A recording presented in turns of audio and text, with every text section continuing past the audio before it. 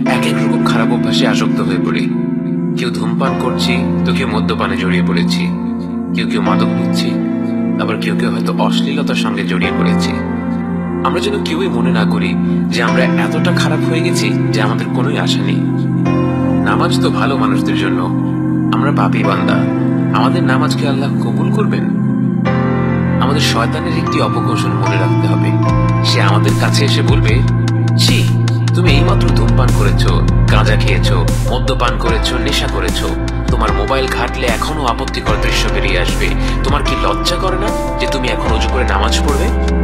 এর সাথে তুলনা করে দেখুন রসুল সাল্লাহ আলী ইসলাম কি বলছেন।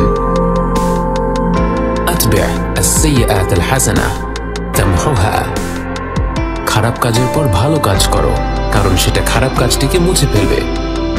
আমরা দুর্বল হয়ে শয়তানের ফাঁদে পা ফেলে দিয়েছি। আমাদের মনটা ভারী হয়ে এসেছে।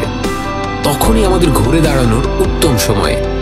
তখনই আমাদের বলা উচিত, শয়তান আমাকে একবার হারিয়ে দিয়েছে তো কি হয়েছে? আমি শয়তানকে তিনবার হারিয়ে দেব। প্রথমে আমি গিয়ে অজু করব, কারণ অজু করলে পাপ ঝরে পড়ে। অজুতে মুখ ধোয়ার সময় সেই চোখ এবং মুখ, যা কিছু খারাপ দৃশ্য দেখেছিল, সেই পাপগুলো মুছে যাবে। হাত ধোয়ার সময় সেই হাত, যেই খারাপ কাজের দিকে বাড়ানো হয়েছিল, সেই পাপগুলো মুছে যাবে। অজু করার সময় অন্তরে বিশ্বাস রাখতে হবে, মনে মনে কল্পনা করতে হবে।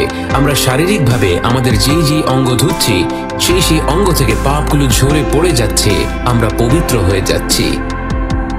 দ্বিতীয়বার আমরা শয়তানকে হারাবো নামাজ দাঁড়িয়ে কারণ রসুল সাল্লাহ আলী ওসাল্লাম বলেন, যেই ব্যক্তি সুন্দরভাবে উজু করে, মন দিয়ে দুই রাকাত নামাজ পড়বে এবং আল্লাহর কাছে ক্ষমা চাইবে, আল্লাহ তাকে ক্ষমা করে দিবেন। এবং তৃতীয়বার আমরা শয়তানকে হারাবো আরও ভালো কোনো কাজ করে।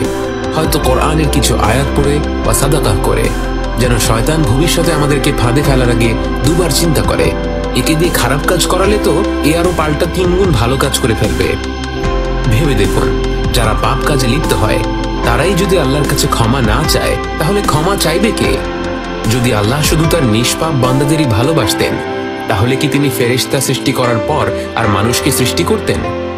ভেবে দেখুন, আমরা যখন আল্লাহর সামনে তাকে অমান্য করছি, তারপর যখন আমাদের খারাপ লাগছে, সেই খারাপ লাগার অনুভূতিটা কোত্থেকে আসলো?